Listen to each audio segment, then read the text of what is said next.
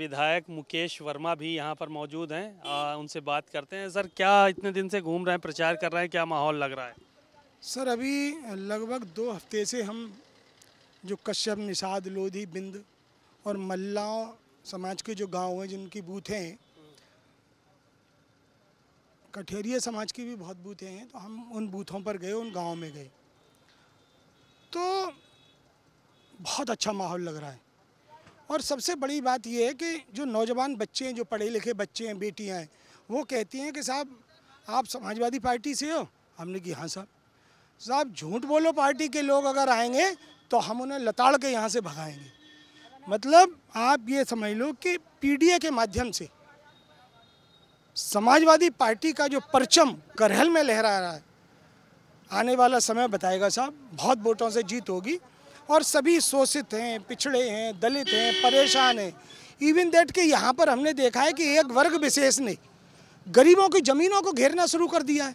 एक मंत्री जी हैं वो अपना गरीबों की ज़मीन को घेरवा रहे हैं ज़मीन कब्जा कर क्या नाम है मंत्री का? अब मंत्री का नाम आप जानते ही हैं साहब ऐसी स्थिति में अब नाम बताओ तो आपको तो सब पता ही है। है ना? यहाँ तमाम लोगों ने शिकायतें की कि उनके बच्चे धमका रहे हैं। और इवन के कहीं न कहीं तो अधिकारी भी धमका रहे हैं। और करेल की सीट निश्चित तौर पर हम जीतेंगे।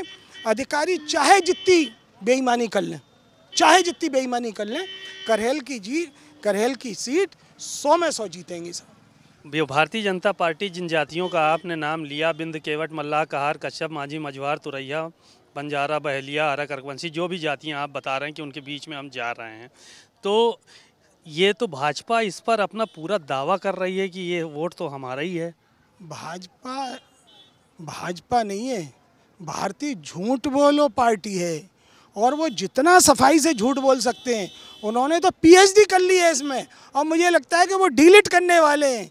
इन समाजों को तो कभी उन्होंने मान सम्मान दिया ही नहीं। जहाँ संजय निषाद की बातें देखो, रो रहे हैं। संजय निषाद उन्होंने उन्होंने कहा था पार्टी के समय कि हम इनको अलग से आरक्षण की व्यवस्था करेंगे। कहीं कर पाए वो? वो खुद ही रो रहे हैं। उनका उनका वो मंत्री पद कब चला जाए यही उन्हें पता नहीं है। वो तो समाजवादी पार्टी में आने के लिए तैयार है। तो बातचीत कर लीजिए बुला लीजिए ना। बात हुई क्या आप लोगों को? कि वो समय आएगा तो निश्चित रूप से सारे लोग इकट्ठे हो जाएँगे।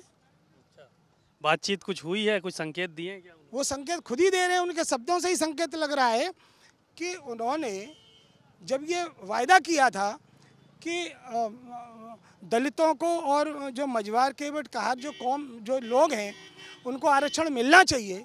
वो आरक्षण दिला ही नहीं पाए, सात साल हो गए। चलिए, शुक्रिया।